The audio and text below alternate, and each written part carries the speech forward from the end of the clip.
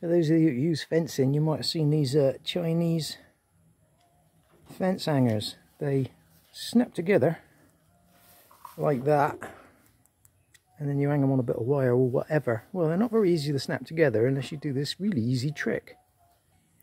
So find something the right diameter for that hole there, and for me it happened to be a spark plug that was just perfect. So uh, what we're going to do now is just put it on. So I put it around where I want it.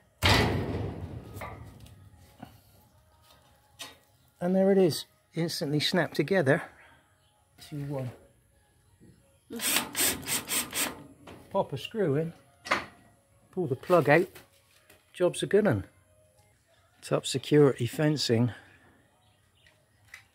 in seconds. Haha.